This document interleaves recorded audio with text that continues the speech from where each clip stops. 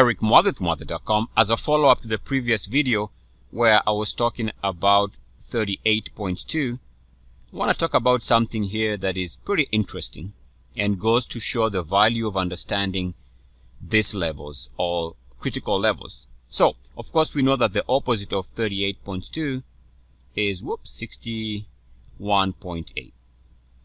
So we know that these two are interchangeable as far as Fibonacci numbers are concerned.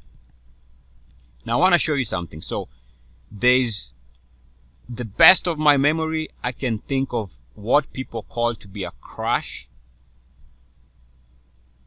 or what the market has generally determined as being a crash over you know the last 30 years or so you'd have to go back and there's three main ones that I'm aware of of or the ones that you know you talk about a crash everybody knows what you're talking about the period so there's obviously a crash here.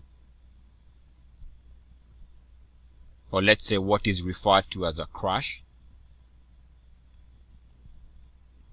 Now many of you might not know this, but there's seemingly was a crash in 98, what is termed as the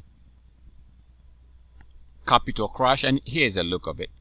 If you just take a look at a quick search, on your favorite search engine?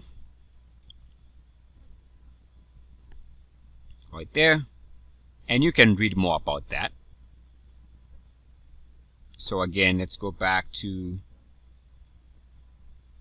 this is 1987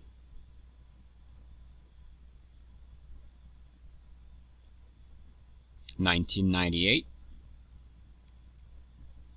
and then there's a third one here which is recent 2008 now you'll notice or at least let me say let's go back to our values of 38.2 which is interchangeable with 61.8 you'll notice all of these three crashes have the same thing in common. Here, we went sliced through the 61.8 level. We sliced through it. Same thing here. We sliced through the 61.8 level.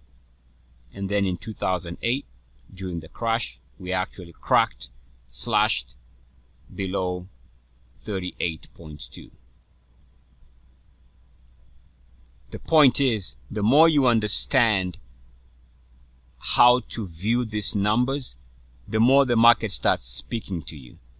And so when you see a stock holding or slashing through these key levels, there's a lot of information that is hidden in the dance that takes place when a market is moving above some of these critical RSI numbers that I discuss. And of course, the other numbers that you hear me talking about, the numbers of 69.1 and 30.9, they are just variations of these two numbers pretty much. So pretty much all we talk about in terms of Fibonacci numbers is based on this number, which again is based on phi or 1.618. And you can see when the market was responding with what psychologically people call to be a crash. It so happens that this was a slashing through some of these key levels. Eric Muathe.com. As always, good luck, peace, and blessings. E I C S. Mwah. Woo.